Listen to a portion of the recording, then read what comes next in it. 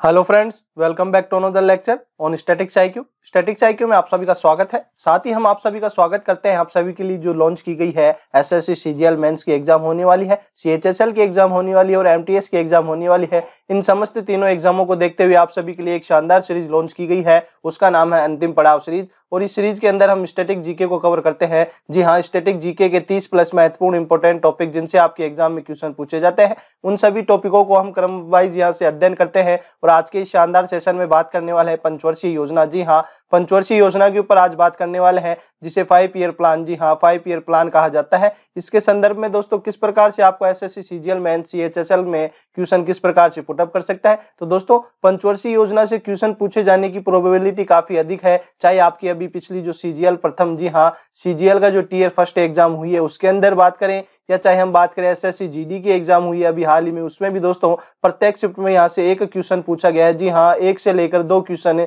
पंचवर्षीय योजना से पूछे गए हैं। इसीलिए दोस्तों, आप सभी के लिए यह यह आज का सेशन पंचवर्षीय योजना का काफ़ी अहम हो जाता है। आपकी यदि 2023 में किसी प्रकार से एग्ज़ाम है तो उसके लिए सेशन काफ़ी महत्वपूर्ण होने वाला है। तो दोस्तों, यदि आज आप हमारे चैनल से जुड़े हैं तो चैनल को सब्सक्राइब करके बेल आइकन पर प्रेस कर दीजिएगा, ताकि इस प्रकार के समस्त वीडियो आपको सही समय से मिल सके और आपने जो सपना देख रखा है दो हज़ार तेईस में दोस्तों वैकेंसी को क्रैक करने का तो वह आपका यहाँ से पूरा होने वाला है। तो चलिए आज की शानदार सेशन का हम आगाज़ करते हैं और बात करते हैं एग्ज़ाम में छपने वाली सीरीज़ के मद्देनजर।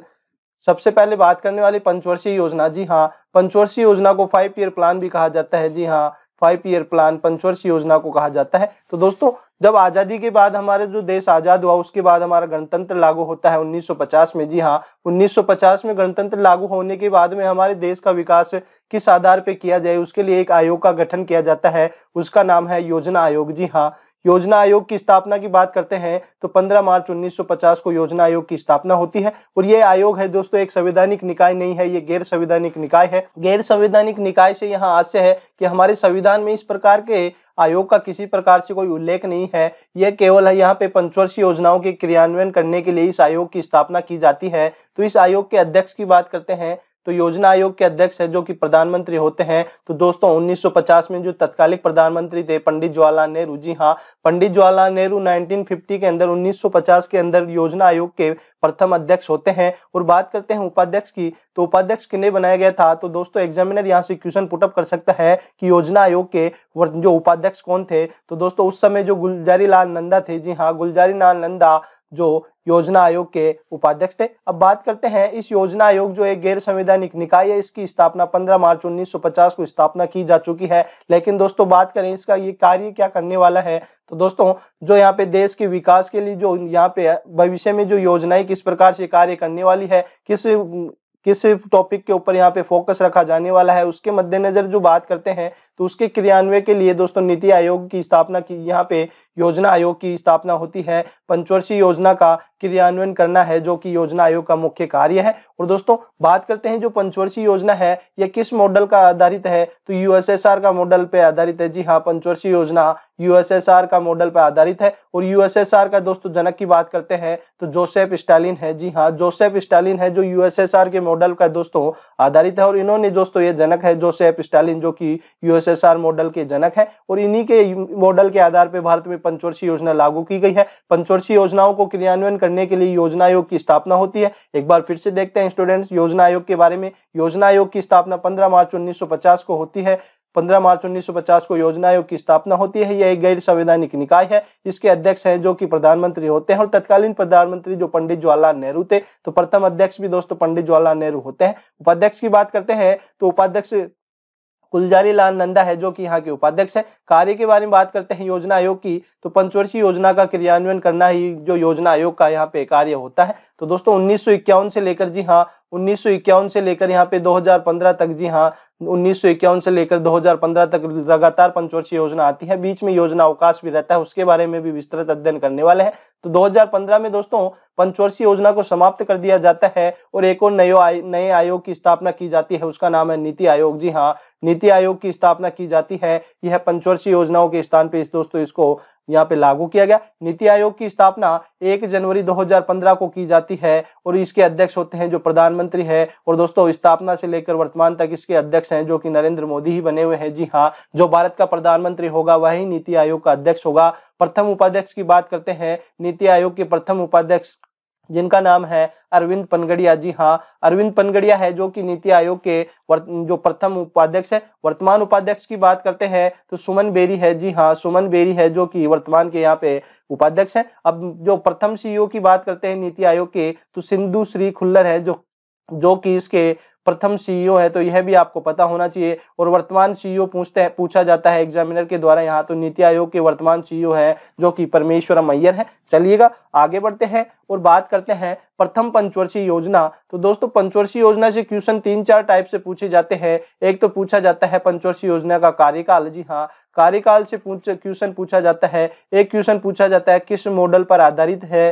किस मॉडल पर आधारित है? और दोस्तों, एक पूछा जाता है, इसका उद्देश्य क्या रखा गया था? जी हाँ एक क्वेश्चन आता है, उद्देश्य से, एक क्वेश्चन आता है, लक्ष्य से। तो दोस्तों प्रत्येक पंचवर्षीय योजना से ये चार क्वेश्चन तो यहाँ पे पूछे जाते हैं। तो हम इन चारों क्वेश्चनों पे दोस्तों बात करने वाले हैं। तो हम बात करते हैं पंचवर्षीय योजना का। तो पंचवर्षीय योजना का प्रथम पंचवर्षीय योजना का कार्यकाल होता है उन्नीस सौ इक्यावन से लेकर 1956 तक इसका कार्यकाल होता है। और ये किस मॉडल पर आधारित है? तो हेराड डोमर मॉडल पर आधारित है। जी हाँ Harrod Domar Harrod Domar model पर आधारित है। तो प्रथम पंचवर्षीय योजना है जो कि हेराड डोमल मॉडल पर आधारित है। इसके जनक की बात करते हैं तो सुभाष चंद्र बोस है जो कि इसके प्रथम पंचवर्षीय योजना के जनक है। इसे संसद में कब पेश किया गया? तो 8 दिसंबर उन्नीस सौ इक्यावन में इसे संसद में पेश किया जाता है। इसका उद्देश्य रखा गया है कृषि एवं सिंचाई। तो प्रथम पंचवर्षीय योजना का जो उद्देश्य रखा गया है, वह कृषि व सिंचाई रखा गया है। तो दोस्तों, उद्देश्य रखा गया है प्रथम पंचवर्षीय योजना का कृषि व सिंचाई। बात करते हैं लक्ष्य क्या रखा गया?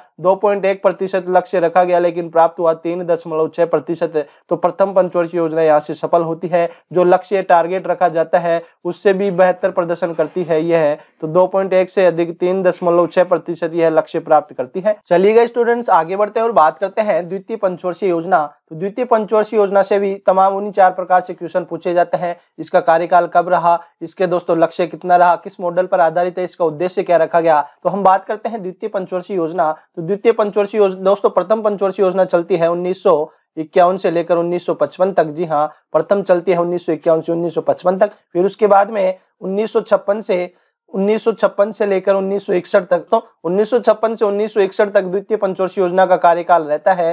कार्यकाल रहता है। फिर उसके बाद में बात करते हैं इसके अध्यक्ष की। तो द्वितीय पंचवर्षीय योजना के अध्यक्ष भी दोस्तों पंडित जवाहरलाल नेहरू थे और उपाध्यक्ष की बात करते हैं तो कृष्णा मचारी है जो कि यहाँ पे उपाध्यक्ष थे। लक्ष्य क्या रखा गया? लक्ष्य रखा गया चार दशमलव पाँच प्रतिशत, लेकिन प्राप्त हुआ चार दशमलव दो प्रतिशत। तो यहाँ पे दोस्तों जो टारगेट लक्ष्य फिक्स किया गया था उसके पास पहुँच पाए हैं। और ये बात करते हैं द्वितीय पंचवर्षीय योजना किस मॉडल पर आधारित है? तो द्वितीय पंचवर्षीय योजना है जो महाल नोविस जी हाँ महाल नोविस मॉडल पर आधारित है।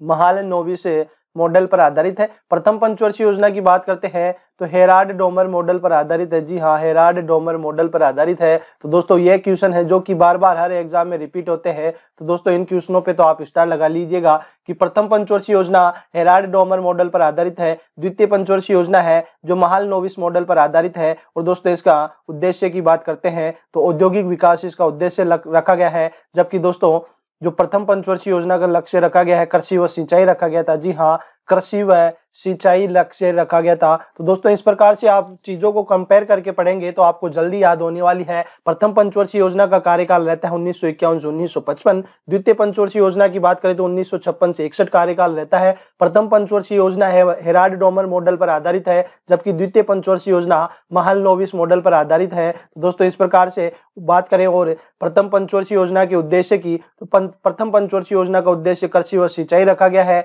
जबकि यहाँ पे बात करते हैं, द्वितीय पंचवर्षीय योजना का लक्ष्य औद्योगिक विकास रखा गया है। तो दोस्तों, इस प्रकार से आपको कंपेयर करके पढ़ना है, जिससे आपको जल्दी ज़्यादा याद होने वाला है। चलिएगा, आगे बढ़ते हैं और बात करते हैं तृतीय पंचवर्षीय योजना। तो इसका कार्यकाल रहता है उन्नीस सौ इकसठ से उन्नीस सौ छप्पन। इसके अध्यक्ष थे पंडित जवाहरलाल नेहरू।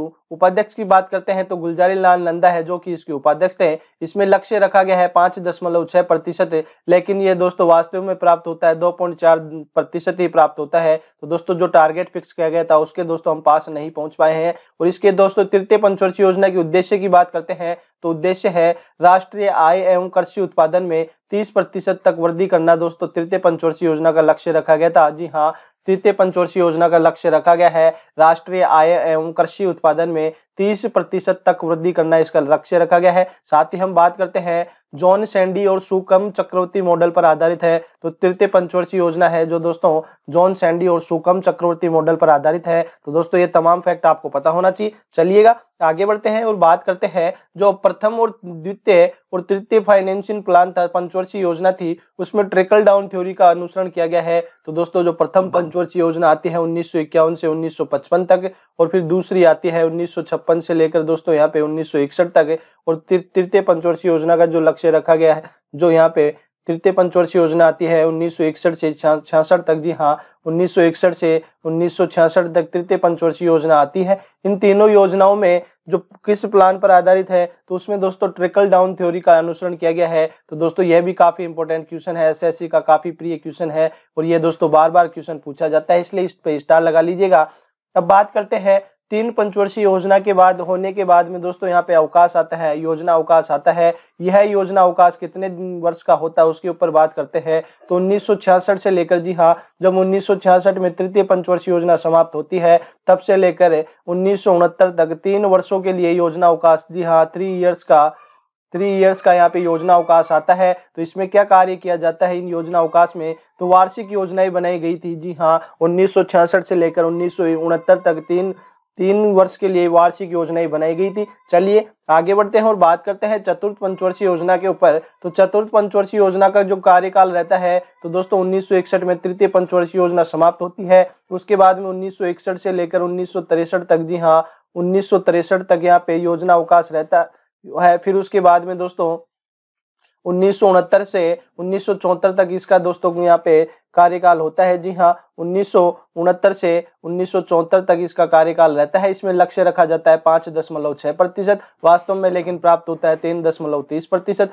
चतुर्थ पंचवर्षीय योजना किस फॉर्मूले पर आधारित है? तो चतुर्थ पंचवर्षीय योजना यहाँ पे गुडविल फॉर्मूला पे आधारित है। साथ ही हम बात करते हैं स्थिरता के साथ विकास तथा आत्म, आत्मनिर्भरता की स्थिति प्राप्त करना इसमें लक्ष्य रखा गया है। इसमें कृषि क्षेत्र को तेज विकास हुआ। जी हाँ जो चतुर्थ पंचवर्षीय योजना है, इसमें कृषि क्षेत्र का बहुत तेज गति से विकास होता है। तो ये काफ़ी इंपॉर्टेंट फैक्ट है क्वेश्चन यहाँ से छप सकता है कि किस पंचवर्षीय योजना में कृषि क्षेत्र का काफ़ी तेज़ी से विकास हुआ। तो चतुर्थ पंचवर्षीय योजना के अंदर इसका विकास होता है। चलिए आगे बढ़ते हैं और अगले फैक्ट के ऊपर बात करते हैं। भारतीय अर्थव्यवस्था के विकास को पहली बार गति देने वाली पंचवर्षीय योजना। तो दोस्तों, यह क्वेश्चन भी काफ़ी इंपोर्टेंट हो जाता है। एग्जामिनर यहाँ से क्वेश्चन पुटअप कर सकता है कि कौन सी पंचवर्षीय योजना जो अर्थव्यवस्था के विकास को पहली बार गति देने वाली पंचवर्षीय योजना थी। तो हम बात करते हैं चौथी, चतुर्थ पंचवर्षीय योजना, जिसका कार्यकाल रहता है उन्नीस सौ उनहत्तर से लेकर जी हाँ उन्नीस से लेकर उन्नीस सौ चौहत्तर तक जिसका कार्यकाल रहता है, इस चतुर्थ पंचवर्षीय योजना के अंदर ही भारत की जो अर्थव्यवस्था है, उसकी विकास को काफ़ी गति मिलती है।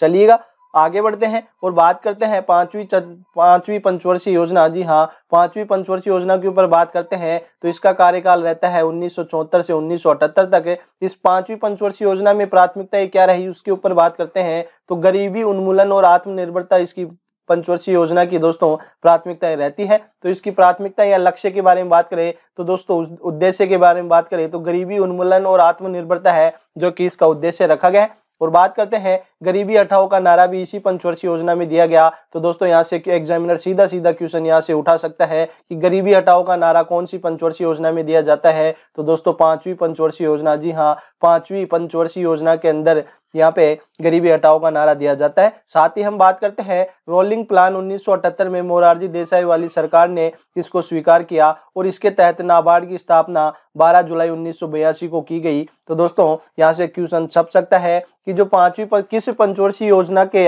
कौन सी पंचवर्षीय योजना के अंदर यहाँ पे नाबार्ड की स्थापना की जाती है? तो दोस्तों, हम बात करते हैं 12 जुलाई उन्नीस सौ बयासी को नाबार्ड की स्थापना की जाती है और इस समय जो यहाँ पे पांचवी पंचवर्षीय योजना थी जो कि क्रियान्वयन थी। और अब बात करते हैं, उन्नीस सौ अठहत्तर में पांचवी पंचवर्षीय योजना होने के बाद में दो वर्ष का यहाँ पे योजना अवकाश आता है। तो दोस्तों, ये द्वितीय योजना अवकाश है। पहला योजना अवकाश दोस्तों, तीसरी पंचवर्षीय योजना समाप्त होने के बाद आता है। और यहाँ पे दूसरा जो योजना अवकाश आता है, वह पांचवी पंचवर्षीय योजना समाप्त होने के बाद दो वर्ष का आता है तो उन्नीस से लेकर 1980 तक यहाँ पे योजना अवकाश रहता है। चलिए, आगे बढ़ते हैं और बात करते हैं छठी पंचवर्षीय योजना। तो छठी पंचवर्षीय योजना कार्यकाल रहता है 1980 से उन्नीस इसका उद्देश्य क्या रखा गया? गरीबी निवारण, आर्थिक विकास और आधुनिकरण पर ध्यान दिया गया। तो दोस्तों, छठी पंचवर्षीय योजना के अंदर जो गरीबी निवारण करने के लिए किस प्रकार से योजनाएँ बनाई जाए, उसके कार्य किया गया। आर्थिक विकास और आधुनिकरण पर ध्यान दिया गया तो यह छठी पंचवर्षीय योजना का लक्ष्य रखा गया है। अब बात करते हैं सातवीं पंचवर्षीय योजना तो सातवीं पंचवर्षीय योजना का कार्यकाल रहता है 1985 से लेकर 1990 तक। जी हाँ उन्नीस से 1990 तक इसका कार्यकाल रहता है। सातवीं पंचवर्षीय योजना किस मॉडल पर आधारित है? तो जॉन डब्ल्यू मिलर मॉडल पर आधारित है। तो दोस्तों, इस पे भी स्टार लगा लीजिएगा, यहाँ से क्वेश्चन छप सकता है। जॉन डब्ल्यू मिरर मॉडल पर आधारित थी। सातवीं पंचवर्षीय योजना का नारा क्या रहा? तो भोजन, काम और उत्पादन है जो कि सातवीं पंचवर्षीय योजना का नारा रहा। साथ ही बात करते हैं इसके उद्देश्य के ऊपर। तो सातवीं पंचवर्षीय योजना का उद्देश्य रहा रोज़गार, शिक्षा और जन स्वास्थ्य पर बल दिया गया। तो दोस्तों, रोज़गार, शिक्षा और जन स्वास्थ्य पर अधिक बल दिया जाता है सातवीं पंचवर्षीय योजना में। आगे बढ़ते हैं और बात करते हैं। फिर से दोस्तों, यहाँ पे तीसरा योजना अवकाश आता है। तो तीसरा योजना अवकाश 1990 से उन्नीस सौ बानवे तक दो वर्ष का। जी हाँ दो वर्ष का यहाँ पे योजना अवकाश आता है। अब आगे बढ़ते हैं और बात करते हैं आठवीं पंचवर्षीय योजना। तो आठवीं पंचवर्षीय योजना का कार्यकाल रहता है 1992 से 1997 तक। जी हाँ उन्नीस से लेकर उन्नीस तक यहाँ पे आठवीं पंचवर्षीय योजना कार्य करती है। इसका उद्देश्य क्या रखा जाता है? रोज़गार, आधुनिक विकास। जी हाँ रोज़गार, आधुनिक विकास और आत्मनिर्भरता पर बल दिया जाता है। तो आठवीं पंचवर्षीय योजना का उद्देश्य है रोज़गार, आधुनिक विकास और आत्मनिर्भरता। इसका लक्ष्य रखा गया। अब बात करते हैं नव, नवी पंचवर्षीय योजना। तो नवी पंचवर्षीय योजना का कार्यकाल रहता है 1997 से लेकर 2002 तक जी हाँ उन्नीस से 2002 तक इसकी पंचवर्षीय योजना का कार्यकाल रहता है। साथ ही हम बात करते हैं मानव विकास के साथ साथ न्यायपूर्ण वितरण एवं समानता पर बल दिया जाता है। तो दोस्तों, जो नवी पंचवर्षीय योजना होती है, उसका जो मुख्य उद्देश्य रखा जाता है मुख्य उद्देश्य रखा जाता है, वह है मानव विकास के साथ साथ न्यायपूर्ण वितरण एवं समानता पर बल अधिक दिया जाता है। साथ ही बात करते हैं, जो अंतर्राष्ट्रीय मंदी आती है, उन्नीस से 2002 के मध्य तो मंदी के कारण असफल रही। तो दोस्तों,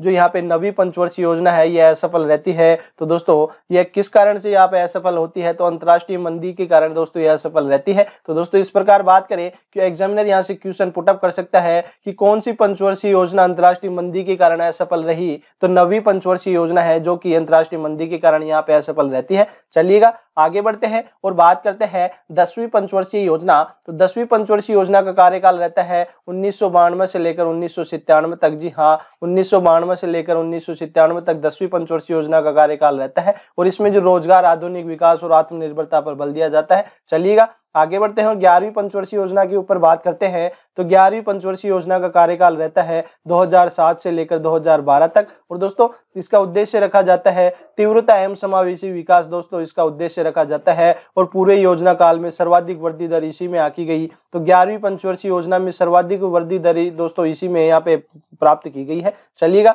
आगे बढ़ते हैं और बात करते हैं बारहवीं पंचवर्षीय योजना। बारहवीं पंचवर्षीय योजना का कार्यकाल रहता है 2012 से लेकर, जी हाँ 2012 से लेकर 2017 तक इसका कार्यकाल रहता है इसका उद्देश्य रहता है तीव्रता एवं समावेशी विकास। और दोस्तों, आप सभी को पता है, जब बारहवीं पंचवर्षीय योजना अपने जो कार्यकाल चल रहा था, उसके मद्देनजर यहाँ पे जो 2015 में, जी हाँ 2015 में एक जनवरी 2015 को यहाँ पे नीति आयोग की स्थापना की जाती है। नीति आयोग की स्थापना की जाती है और दोस्तों, वहाँ से यहाँ पे पंचवर्षीय योजनाओं को बंद कर दिया जाता है और एक नए आयोग, संगठन की स्थापना की जाती है। उसका नाम है नीति आयोग। नीति आयोग के दोस्तों, जो अध्यक्ष की बात करते हैं, उसके बारे में चर्चा कर चुके हैं। जो प्रथम अध्यक्ष थे वो है पंडित, यहाँ पे प्रथम अध्यक्ष होता है जो दोस्तों वर्तमान के जो प्रधानमंत्री होते हैं, उन्हें अध्यक्ष बनाया जाता है। और दोस्तों, इसकी स्थापना से लेकर अभी तक दोस्तों जो नरेंद्र मोदी है, वह इसके अध्यक्ष रहे हैं। प्रथम उपाध्यक्ष की बात करते हैं तो अरविंद पनगड़िया है, जो कि यहाँ के उपाध्यक्ष रहते हैं। और वर्तमान उपाध्यक्ष की बात करते हैं तो सुमन बेरी इसके वर्तमान के उपाध्यक्ष है।